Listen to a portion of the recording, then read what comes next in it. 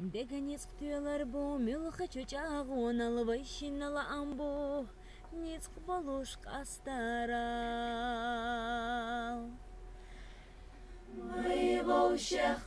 Religion. What is it exactly?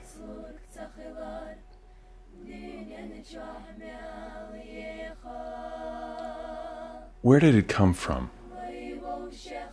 What is it good for? Where is it taking us? Despite our ostensibly secular age, these questions continue to provoke intense, acrimonious, and high stakes public debates the world over. Religion in some form exists in every society and is one of the defining features of the human species. It also lies at the center of many contemporary social and political conflicts. From tensions between religious rights and the values of civil society, to controversies over abortion, polygamy, and the teaching of evolution. From geopolitics in the Middle East and South Asia, to the problem of global terrorism. In fact, not a day goes by without religion making international headlines. Despite its ubiquity and centrality to human affairs, however, religion remains, from an academic perspective, perhaps the least studied and most mysterious aspect of human behavior.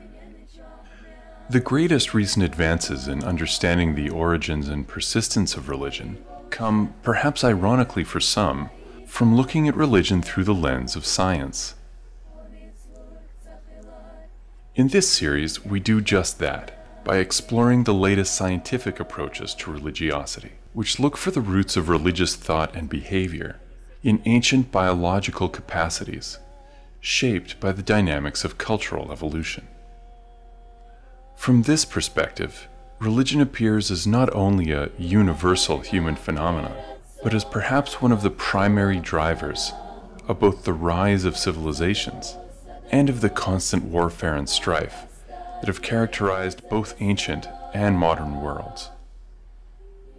If the mystery of religion's origins and continuing appeal grip you, we invite you to join us on a journey deep into the roots of the human psyche, a journey into the new science of religion.